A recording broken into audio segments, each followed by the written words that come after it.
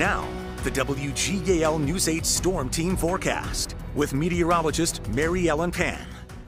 Well, the dew points have dropped into the 50s to near 60 degrees, and that gives us a break from the steamy, muggy conditions and leads to a very dry and comfortable weekend. So something to look forward to.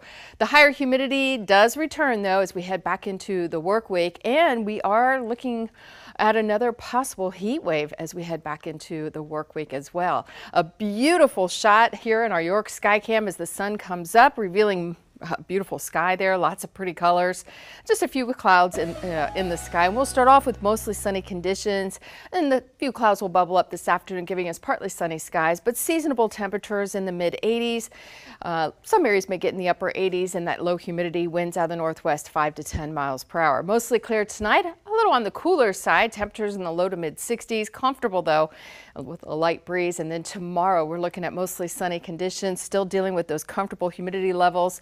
It'll be warmer with temperatures in the upper 80s to near 90 degrees. Temperatures right now 68 in Carlisle and in Harrisburg, but elsewhere we've got a couple areas in the 50s to our north and west. Low 60s there in Lebanon and in York, Lancaster 64 and Chambersburg coming in at 65 degrees. And check out the dew points upper 50s right now to right around 60 there in Harrisburg and Reading.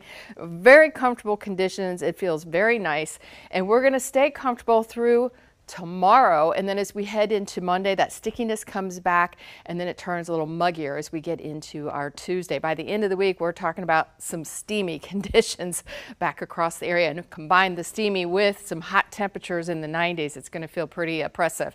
High pressure is in control. We'll continue to build in across the area for the weekend. That's what's going to provide the sunshine and dry conditions and very comfortable conditions. And look at predictor.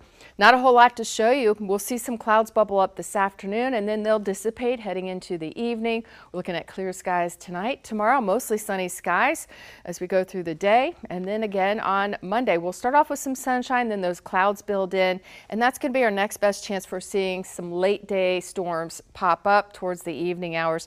And then again on Tuesday. Our rain chances don't look all that impressive. We're talking about low rain chances Monday and even into Tuesday, maybe an isolated chance on Wednesday.